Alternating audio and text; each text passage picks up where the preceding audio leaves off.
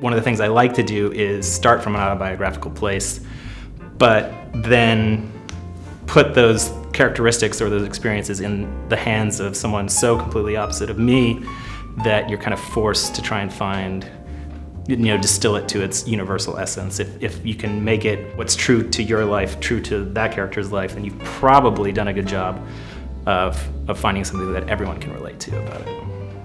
I'm Chad Hartigan, director of Morris from America, which is world premiering in the U.S. dramatic competition at the 2016 Sundance Film Festival.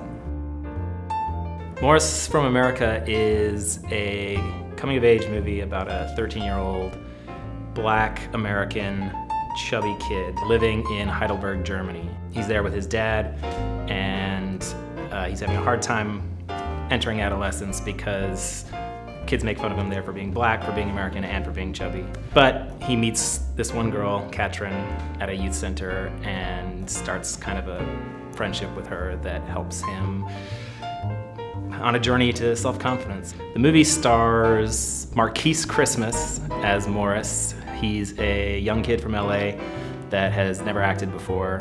He's only really been in a few YouTube skit videos that his big brother in the Big Brother program put him in, and that's how we found him.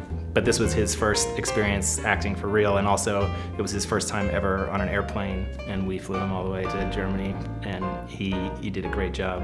Setting it in Germany, obviously, by default gives it a, a European flavor, and I really liked the idea of taking the things I really love about American mainstream teen movies, which is sort of a pop aesthetic, music driven, high energy, and combining it with what I love about European coming of age movies, which is more sincere and awkward and realistic, and really put those in a blender and see if what comes out is something kind of new.